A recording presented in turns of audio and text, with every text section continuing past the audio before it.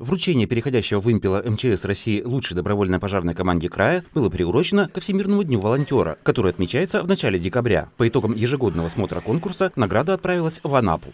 Конкурс проводится ежегодно, но э, в этом году э, положение было переработано нашим министерством.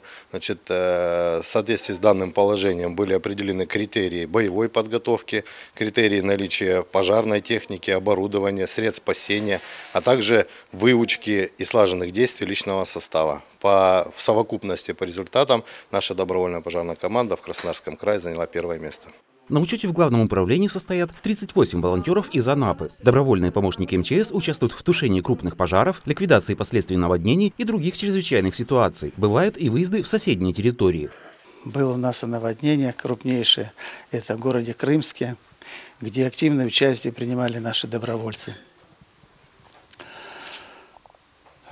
Организовывали, значит, и пищу горячую. Это помощь частным лицам, которых откачивали значит, из подвалов э, воду. Вот. И помогали значит, и, э, во всех отношениях. Вы имеете очень серьезный опыт, хорошую подготовку. И прошу эти темпы не снижать. Мы всячески будем вам оказывать всяческую помощь в подготовке, методическую помощь. Спасибо за Спасибо. достигнутый Служим результат. Алексей Дивейкин, Михаил Попов, Анапа регион.